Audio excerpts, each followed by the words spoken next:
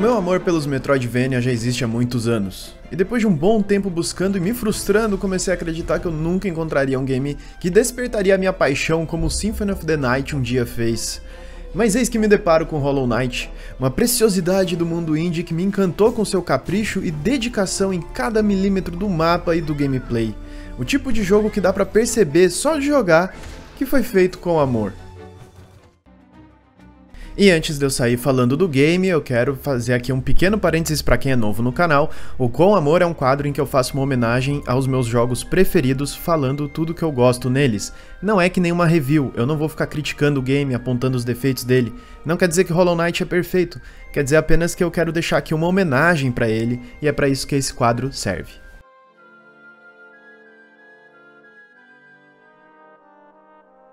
Hollow Knight foi desenvolvido e produzido pela pequena equipe da Team Cherry e lançado em 2017 no PC, no PS4, no Xbox One e no Nintendo Switch, o que possibilitou o time de criar o game sozinho e lançar em todas as plataformas foi o apoio do público no Kickstarter.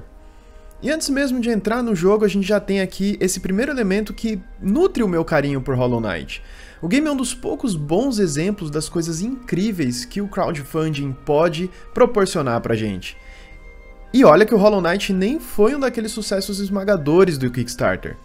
O jogo conquistou 57 mil dólares australianos sobre a sua meta de 35 mil. Certamente é uma campanha de sucesso, mas é longe dos recordes marqueteiros que a gente vê na plataforma de vez em quando.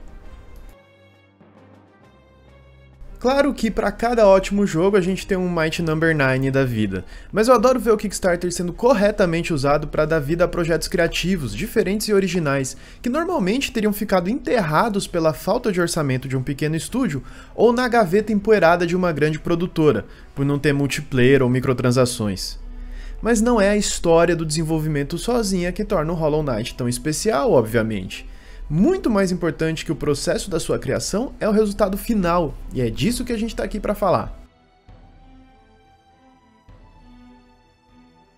Eu admito que ouvir o termo Metroidvania me faz prestar mais atenção no que vai ser dito sobre um game, mas isso sozinho não basta para me fazer querer jogar, e muito menos seria suficiente para um título vir parar no Com Amor.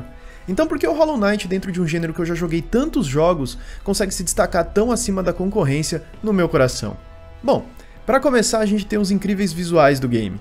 Todos desenhados à mão e com um nível de capricho de detalhe que chama a atenção logo que você vê o jogo pela primeira vez. Mas assim como seus temas, os gráficos do Hollow Knight são bem mais profundos do que a gente vê logo de cara. Os visuais e a ambientação são todos pensados para contribuir com o mundo que o game quer criar. Cada novo cenário, personagem e inimigo conta um pouco mais da misteriosa história desse jogo e do mundo de Hollow Nest. E que mundo maravilhoso de ser explorado. O jogo se passa numa sociedade subterrânea de insetos, aracnídeos e outros seres rastejantes. Existem cidades inteiras e diferentes estruturas sociais. Regiões que um dia foram de um jeito e agora estão em ruínas, e outras que ainda funcionam bem. É uma variedade enorme que instiga na gente a vontade de saber mais do lore e da mitologia do game, que são realmente imensos. O título esbanja a criatividade em sua ambientação, tanto na estética como no folclore que aparece como pano de fundo da aventura, e eu realmente adoro isso.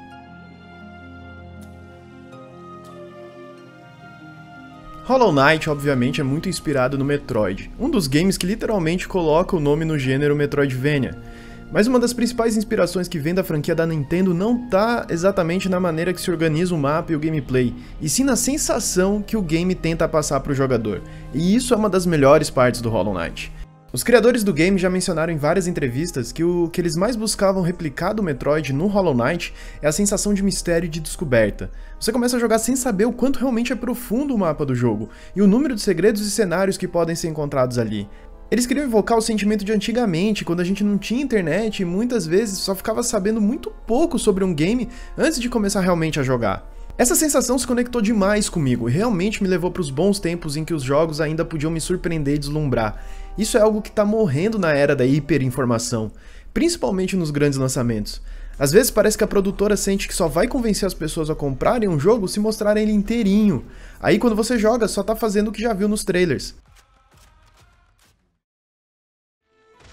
Um jogo que aposta tanto no seu mapa e nos seus visuais com certeza chama atenção, mas isso não é suficiente para prender os jogadores até o fim, menos ainda para virar um dos games preferidos de alguém. É por isso que temos que falar do gameplay. Hollow Knight tem aquele tipo de gameplay com mecânicas bem básicas, mas que trabalham em conjunto para oferecer muita variedade. Uma simples espadada, uma barra de magia e algumas habilidades podem se adaptar a diferentes estilos de jogo, principalmente graças a um recurso de equipar amuletos. Você pode escolher diferentes amuletos por vez para ir tornando as habilidades do pequeno cavaleiro mais alinhadas com seu estilo de jogo, oferecendo bastante versatilidade no simples gameplay de pular e dar espadadas. Só que a jogabilidade do Hollow Knight brilha mesmo naquela qualidade que é muito difícil de descrever. A pessoa tem que jogar para entender. A responsividade dos controles, a sensação de impacto dos ataques, o perfeito controle do personagem, é aquele tipo de jogo que você sente na hora que é gostoso de jogar. Usamos essa incrível jogabilidade para viajar pelos cenários criativos e detalhados, descobrindo os mistérios de Hollow Nest e aprendendo cada vez mais da sua história. Como eu mencionei antes, Hollow Knight faz questão de esconder seus segredos, mas não só isso, o game acredita na qualidade do seu lore e não tem medo de deixar o jogador sem entender. E eu digo isso no melhor sentido. O game tem várias áreas ocultas do mapa em que sua recompensa é apenas aprender um pouco mais do mundo de Hollow Nest. Nenhum power-up, nenhum item, nada. Apenas um pergaminho que fala mais da história desse universo ou um NPC para conversar. E o jogo não entrega as informações mastigadas, você pode entender ou não. Ou, como no meu caso, sempre entender só um pouco, mas não tudo, o que alimentou minha curiosidade e sensação de descoberta ao longo de todo o jogo.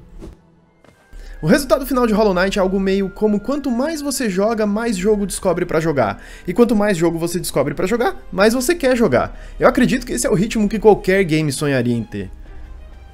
E toda essa jornada é acompanhada de uma linda trilha sonora perfeitamente alinhada com a história e o visual melancólicos do jogo. Complete aí com alguns chefes incríveis, batalhas épicas e uma quantidade imensa de conteúdo, e temos a receita perfeita para um game que com certeza eu vou jogar com amor.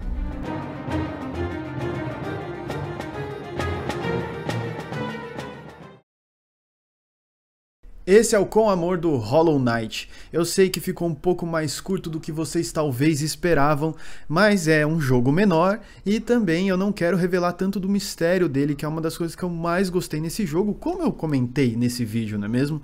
Como sempre, eu espero o feedback de vocês nos comentários e convido quem é novo assistindo o vídeo a se inscrever no canal e vir fazer parte da gangue. Obrigado por acompanhar mais esse vídeo, até o próximo. Valeu, falou!